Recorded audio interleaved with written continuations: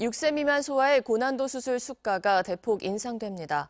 정부는 오늘 의사 집단 행동 중앙 사고 수습본부 회의에서 현재 1,500g 미만 신생아와 1세 미만 소아에 대해서만 적용하던 연령 가산을 6세 미만 소아까지 확대하고 최대 가산 수준도 300%에서 1,000%로 대폭 인상한다고 밝혔습니다.